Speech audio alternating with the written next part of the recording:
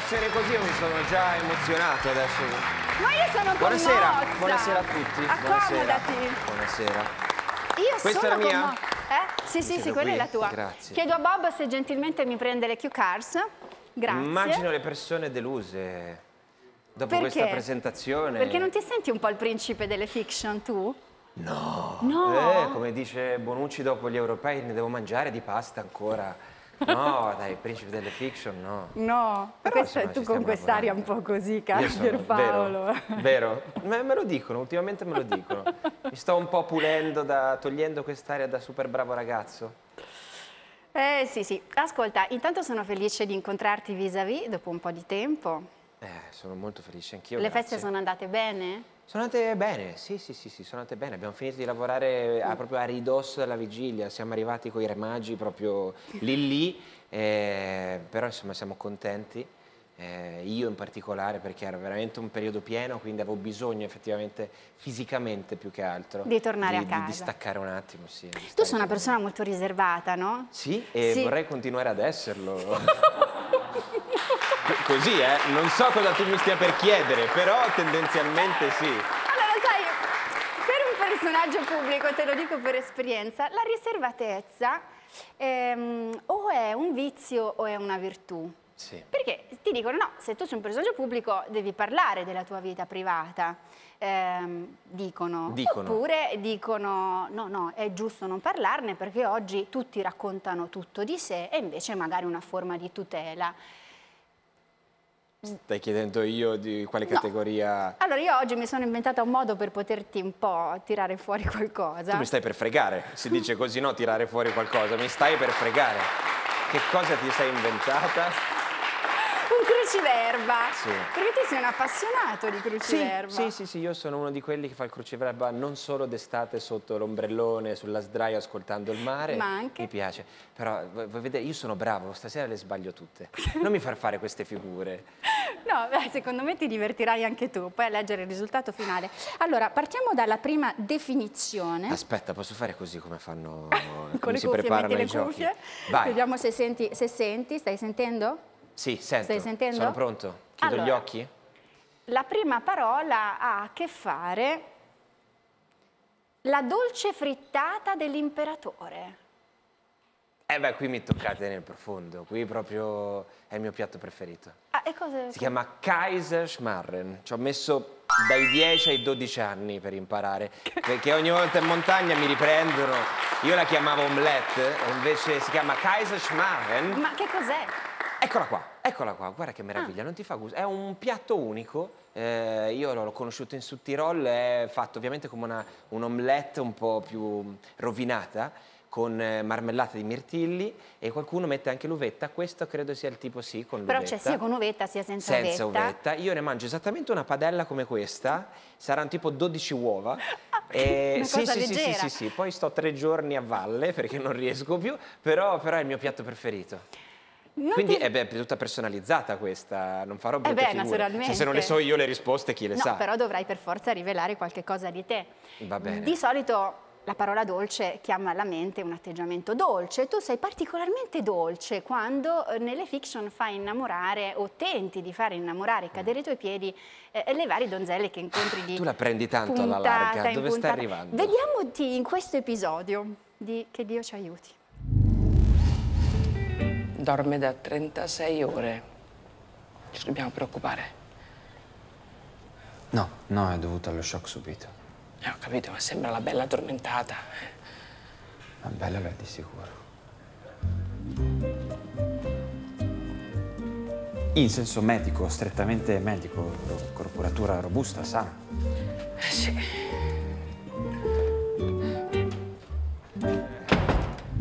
Me lo ricordo bene quel giorno.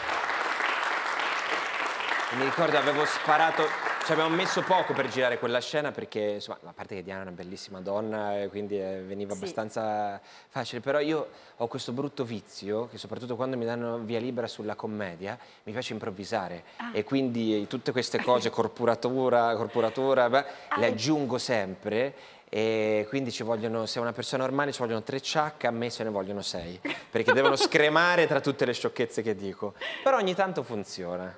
Avevo Sì. anche aggiunto qualcosa di tipo una tempra italica, Eh, po' esagerato, ma esagerato, sì, eh. ma io sbrodolo, poi vado a togliere. Ascolta, ma tu nella vita invece hai fatto più innamorare oppure invece ti sei più innamorato? Ti ho detto che le prendi alla larga te, ma poi... ehm, Cioè, se tu sei, tu sei un Latin lover o sei uno che subisce l'amore? Io, come, come- come dice Chet Becker, io mi innamoro molto facilmente, ma di tutto, non, insomma, non solo Sì, sì, di tutto. Bene, passiamo alla seconda definizione. L'orologio col cinturino che non sta nel taschino. Cos'è? Eh, l'orologio con cintu- eh, da polso. Eh, L'orologio, no. Vediamo. Da polso. Sì. eh, Che sì. rapporto hai col Si tempo? chiamano segnatempo, non si chiamano orologi. Segnatempo, chi ha fatto il Segnatempo. cruciverba? Sì, sì, sì, sì, Segnatempo. Segnatempo. Ehm, che rapporto ho con il tempo? Eh, non ci ho mai pensato. Devo dire che quest'anno, mh, ecco, una delle cose no, che ha lasciato il Covid a molte persone è un attimo una finta sensazione di riappropriarsi del tempo, Mm. perché poi in realtà quello che noto mh, sulle nelle vite della gente, degli amici che mi parlano, siamo più di corsa, più in frenesia rispetto a prima. E se tu devi dare delle priorità, a chi le dai? Beh, eh, quest'anno mi ha preso molto tempo il lavoro, devo dire che ho un po' superato il confine, però insomma io sono un tipo molto da famiglia, quindi le mie responsabilità le ho e sono molto, molto attento a quello. Ti dedichi molto alla famiglia. Bello, Sì. bello, bello. Lo vedete così, ma invece, E invece nasconde vedi? un mondo. Eh lo so, frego all'apparenza. Terza definizione, il piccolo regno dove eri il re delle mance. E eh, sono stato in diversi posti, eh, ristorante immagino. Vediamo. Ristorante. Eh, sì, Hai so- fatto il cameriere. Io ho fatto più il cameriere che l'attore. Eh, sì, ho, studia- ho studiato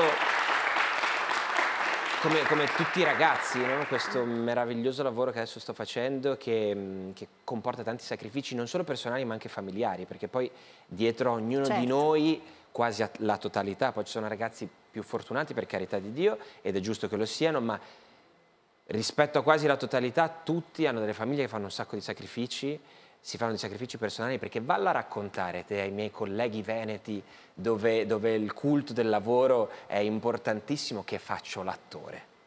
Io Ti- sai quante volte sono andato in banca a chiedere un, un mutuo oppure chiedere e che lavoro fa? L'attore. In che senso mi chiedevano? Eh,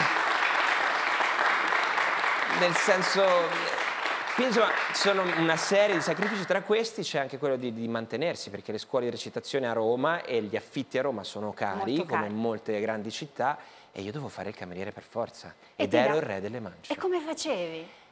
Come abbindolavi? No, perché, come sono, riuscivi a- perché sono un po' guascone, perché insomma pa- parlicchio, parlo l'inglese, me la gioco un po' con lo spagnolo. Faccio Guadagnavi? qualche... Sì, sì, con le mance raddoppiavo lo- quello che prendevo di, di- di stipendio. Bravo Quindi Spollone. sì. E poi dopo un po', no, come nel mio mestiere, impari a conoscere le persone. Quindi guardando delle persone entrare io già capivo se prenderla io o lasciarla al mio collega. Io ti avrei lanciato una mancia? No. Zero, però avremmo riso. Apprezzavo anche questo, la gente quando Tu hai viene... appena detto che io non sono una persona generosa. No, però avremmo riso e questo, è, eh, questo rende il lavoro più leggero e questo è bello. Ma tu quando è insomma, che hai fatto girare la ruota nella tua vita, cioè da cameriere ad attore, il primo provino vero che, che- che ti ha consacrato un po' No, in- in mestiere? realtà ho fatto prima l'attore, poi il cameriere, poi il cameriere e l'attore E poi, insomma, adesso è un po' che non faccio più il cameriere, ma me lo tengo caldo, nel senso quello capito impara l'arte e mettila da parte, lo so fare e Bravo. ce l'ho là. E non si sa mai, il, lavoro, no? il mio lavoro è precariato di lusso, ma per, per eccellenza Per ora sta andando tutto bene, quindi... Sì, ok. cerchiamo anche di lasciarlo andare, non, non, non toniamo la fortuna. Quarta definizione, l'amica che ti fa fare discese e risalite. E qui si aprirebbe un universo. E invece noi lo chiudiamo subito e andiamo dritti alla risposta. Avrei detto la musica, ma sono poche eh, lettere, quindi la bicicletta. Perché mi bicicletta? conoscete, la bicicletta. Eh, eh, lo sapevo io. La bicicletta. no, perché lui fa uno sport pericolosissimo, cioè è anche molto bello. Sì, infatti eh, se possiamo però... evitare di dirlo alla produzione, eh, però sì, a me, a me piace si molto. Si chiama downhill. Sì, qui in particolare ero più in, in esplorazione, insomma, queste nuove tecnologie hanno messo... messo... In cosa consiste esattamente? Allora, il downhill in particolare è, eh, te la faccio molto semplice, sali sulla montagna e ti butti giù come se dovessi vivere fino a, a da lì a 5 minuti, proprio Senza corri. Freni. Li hai, li hai, però tendenzialmente se non li usi hai più possibilità di sopravvivere. Mentre lì stavo facendo un giro turistico, era il periodo in cui tra l'altro nella zona di Asiago c'era stato quel, ah, sì, quel sì, tornado, sì. tutti Infatti gli alberi dietro, dietro si vedono, aveva abbattuti. fatto un disastro, quindi ero già sfinito, sarò partito da 15 minuti lì, stavo già boccheggiando, lo vedo chiaramente, però è molto divertente, molto rilassante, infatti ha avuto fermami, eh, perché io sai che inizio a parlare, ha tra avuto? 5 minuti ti mando fuori e conduco No, no, perché io. un sacco di cose da fare, ah, di okay. fare ancora. E ha avuto uno sviluppo pazzesco l'e-bike, queste biciclette elettriche, c'è stato un mercato pazzesco. Ne parliamo un'altra volta, sì, magari fra noi capisco. due. E sì, con le, anche le biciclette capisco. elettriche funzionano molto bene, cioè io preferisco l'elettrica soprattutto per fare le salite. Assolutamente. Ma parliamo invece di doc, perché Sì. se c'è un luogo dove tu combini un sacco di guai, perché voi lo vedete, sì, certo, funziona tutto, ma sul set, quando loro devono lavorare, Spollon fa un sacco di casini. È vero, ma da- dalla scuola proprio, dalle elementari. Eh, sì, a me piace, è un modo di vivere che ho. Eh, la gente all'inizio stanno un po' attenti, anche perché ogni attore ha il suo modo. C'è chi si concentra fino alla morte, io fino al ciak, una sciocchezza la devo dire. Se no non mi rilasso. Vediamo un'anticipazione, perché Doc torna il 13 gennaio, in prima serata, su Rai 1. Prepara le valigie perché venerdì e sabato andiamo al mare. E il mio turno qui? Il tuo turno qui lo farà Elisa. E come la convince a coprirmi? Capirà. E- Perché Elisa è la più romantica qua dentro. Ti rendi conto che rinuncia a un contratto qui? Cioè, lei rinuncerà a un posto di lavoro nella città più ricca, nel posto più bello del mondo. E per cosa? Per andare in Etiopia. Ma per chi soprattutto? Per Gabriel. Cioè. Oh, ciao Gabriel, scusa, non ti avevo visto. Riccardo, hai chiesto tu un consulto infettivologia? Sì, sì, ma mi hanno detto che l'unica disponibile è una mezza matta appena arrivata, che è un po'. Si riferivano a me? Dottoressa Cecilia Tedeschi. Eh, Riccardo Bonvegno. Dove posso esaminare il caso? Eh, forse queste precauzioni sono un po' esagerate. Mi avete chiamato per un sospetto virus, giusto? Se è così, qui dentro potreste essere tutti contagiosi. Ok, eh, ci segua. Questo è uno spaccato della mia vita. Eh, io, io sono proprio l'uomo delle figuracce. No, no, no, dovunque io vada ormai ci ho fatto l'abitudine. Anzi, mi piace. Quasi quasi mi piace perché è un modo per... Dire per- la verità. Dimmi. No, è un modo per dire la verità. Ah, dire la verità, ho capito, dimmi la verità. Pensavo già tornassi eh, alla famiglia, le cose. Vuoi dire la verità sì. Vuoi dirmi qualcosa? E ti stavo dicendo, e rompere i, i- no, tanti blocchi che si mettono con le altre persone. Però in quella scena sembrava che tu la facessi apposta per farti sentire, In chiaramente. quel caso sì, la seconda con quello La che scoprirete, dottoressa. attrice bravissima, Alice Arcuri, sarà eh, primario, tanto ormai l'avete svelato, ehm, no, quella era una figuraccia. C'è dell'attualità in questa stagione. Sì, Molta sì, attualità. cioè, ehm, un plauso, permettetemi di farlo, a tutto il reparto di sceneggiatura perché abbiamo altri esempi di serie che hanno trattato il Covid. Questa serie non parlerà del Covid, questa stagione di, di- di Doc, ma attraverserà il Covid e lo farà in maniera molto intelligente, che è la parte più interessante anche a me umanamente interessa di più capire cosa lascia il Covid nelle persone. E non solo a livello fisico, ma soprattutto a livello psicologico. Quindi questa stagione parlerà molto del dramma psicologico che vivono dei medici che sono stati eh, sotto stress in quelle situazioni. Anche per questo sarà una stagione imperdibile, perché magari attraverso la fiction, attraverso il racconto,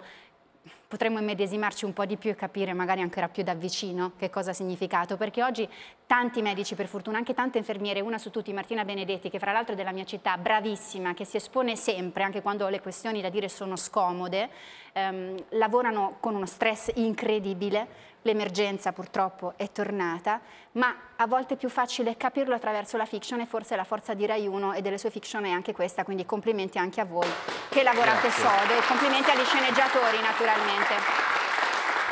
Quinta, quinta riga del cruciverba, quinta riga del cruciverba. Guai a fargli sentire un suono distorto. Chi è? O cosa può essere? Ehm, eh, fa- eh, fargli sentire... Non è so- una parolaccia, sembra, ma Non è una par- Ah, ah, eh, l'audiofilo. Chi è un audiofilo? I- Eh, giusto. Io, io sono un audiofilo, a me, a me piace cos'è? È uno dei pochi momenti che mi, mi- mi prendo per me stesso totalmente. Io ho il mio bell'impianto di alta fedeltà, si dice, eh, alta definizione, per spiegarlo più facilmente. Ho un punto preciso dove devo sedermi, queste mm, casse che riproducono come se ci fosse un'orchestra. Diciamo, è il modo più vicino possibile ad un concerto per ascoltare la musica.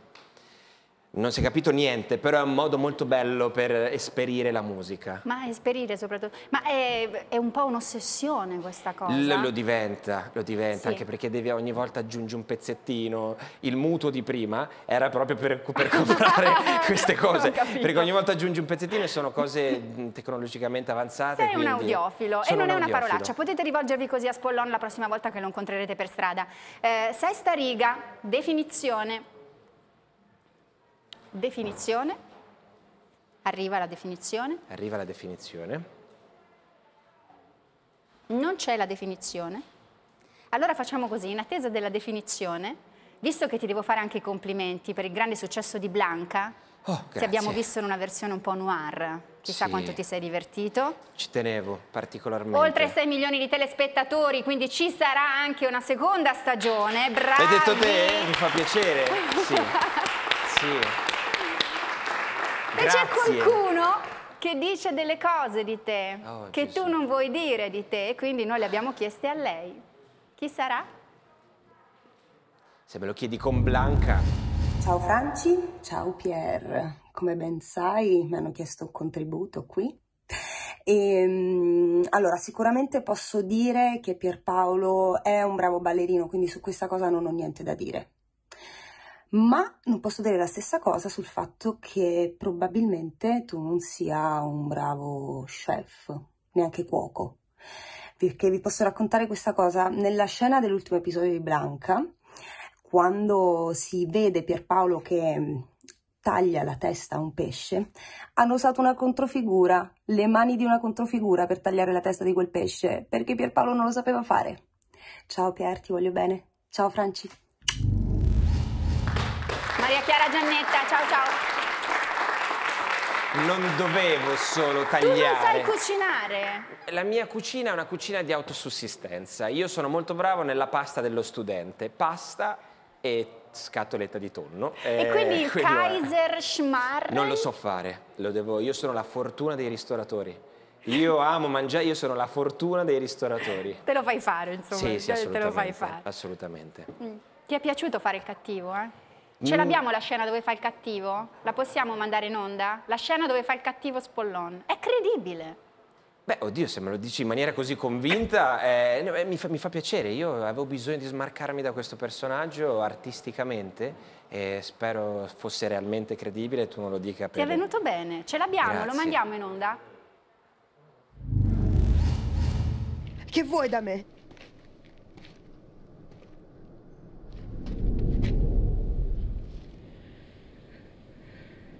Voglio che ritrovi la vista. Voglio che impari a vedere. A vedere veramente, però. A vedere cosa vuol dire passare 15 anni in prigione. Ma a differenza di me, tu mangerai bene. E al contrario di me, tu sei colpevole. Colpevole di cosa?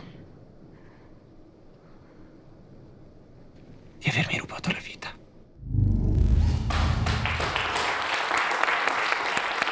A chi stavi pensando quando stavi recitando? Beh, è stato divertente, momento? è stato divertente perché, perché mh, lì si va su degli aspetti della propria personalità che si spera la gente non indaghi. Sei E- vendicativo nella vita? No, no, no, mi innervosisco molto e soprattutto somatizzo, quindi a distanza di anni mi ricordo delle cose. Ad esempio, per queste scene per il nervosismo. eh.